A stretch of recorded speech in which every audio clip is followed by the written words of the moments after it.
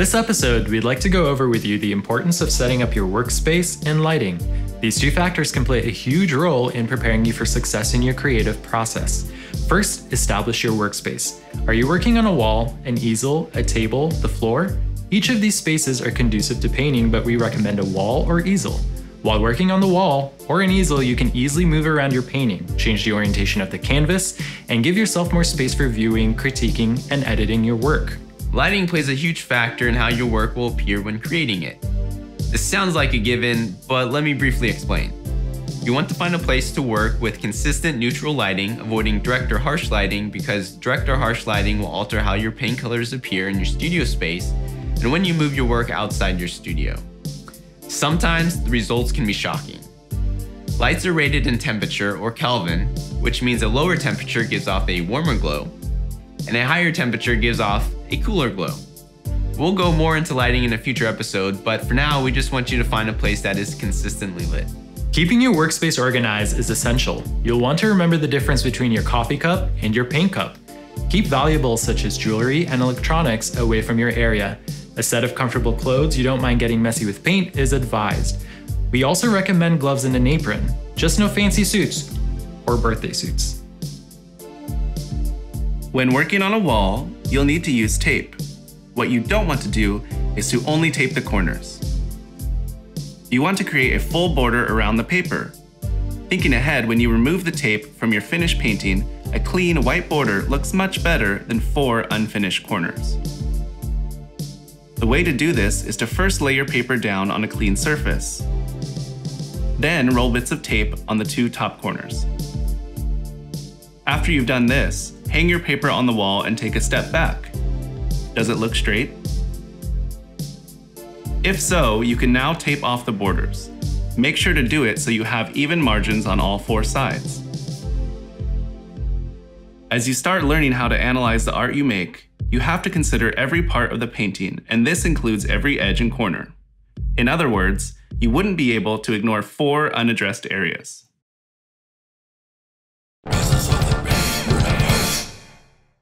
Once you're finished painting for the day, you'll want to take care to properly clean up. This will vary whether working with acrylics or oils.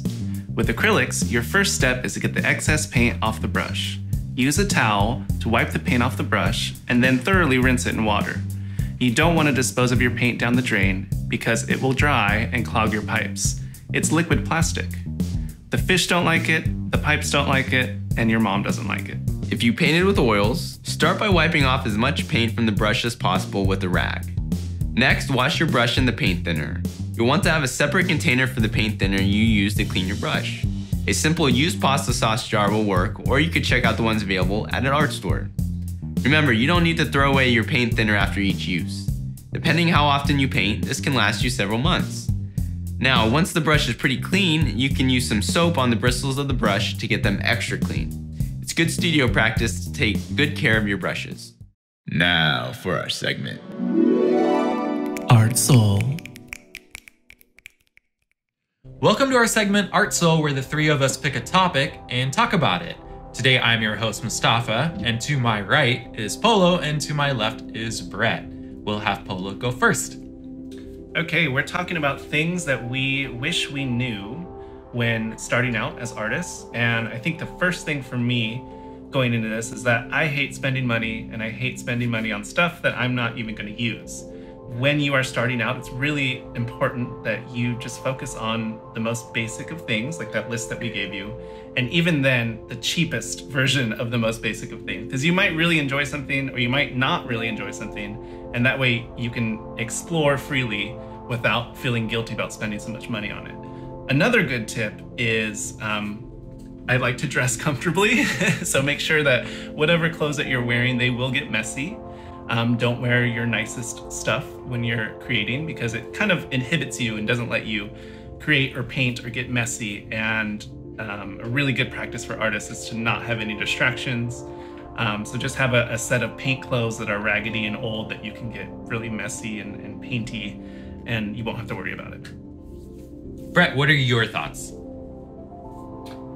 Uh, I guess starting out giving advice to um, someone trying to get into painting or art is to be mindful of their own practice and, and really try and pay attention. When do you like to work? Are you a morning worker, uh, middle of the day, evening, a night owl? Um, and then, you know, what are some things that you you notice about yourself when you work? Um, you know, perhaps there's certain topics or themes that keep reappearing in your work, or certain things you like to continually paint. Um, be mindful of those, because then that's kind of how you take advantage and, and, build your own practice.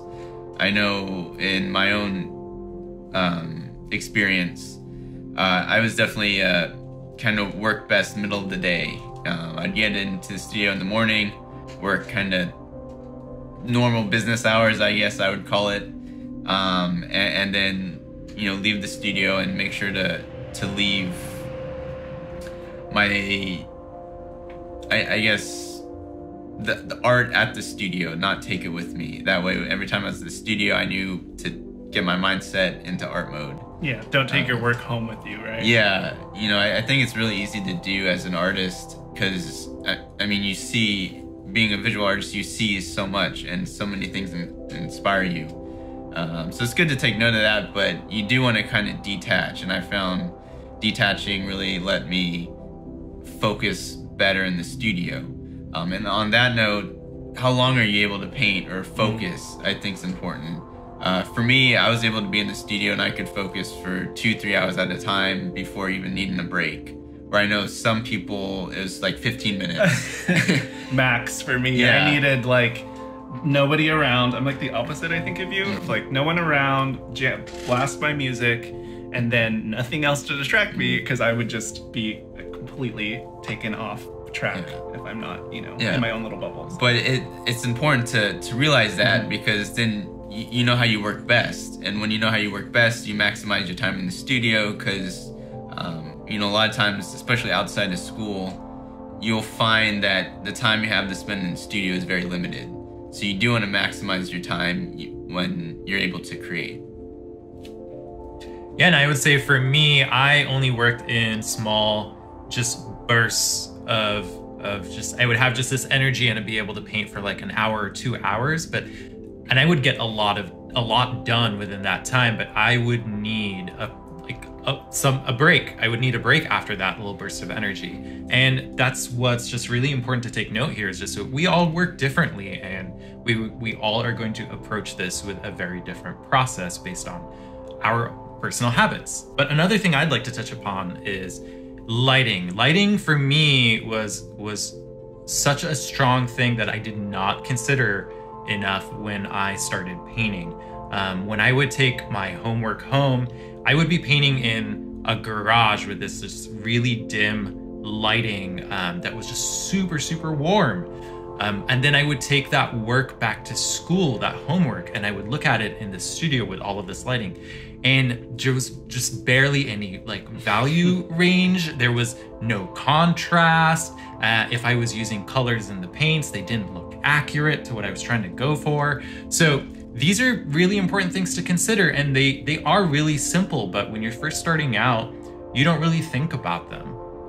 That's like when you go to a department store and the clothes make you look good in the mirror mm-hmm. and then you get home and you're like this is ugly. I look awful. So just make sure that you're trying to replicate that like professional lighting or just consistent lighting as you're making it because then you won't feel disappointed when you hang it up in the classroom or wherever it is that you're showing and even that being said though you're gonna find you're never gonna have enough yeah. lighting ever. Yeah that's true. But you know do the best you can to to make sure i think it's consistent to where you're gonna show it. Yeah.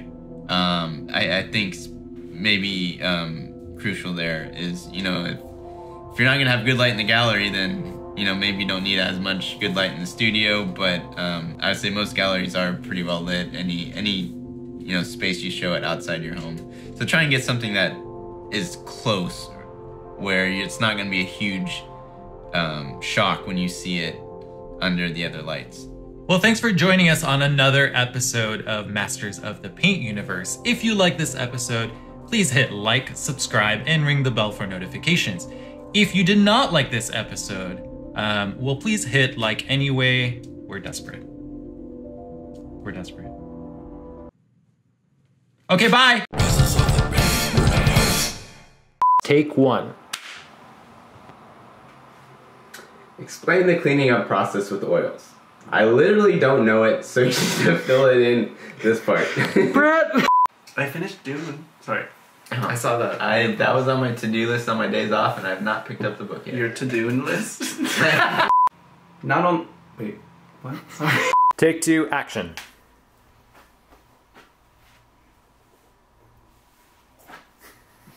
Take three, action. Take six, action.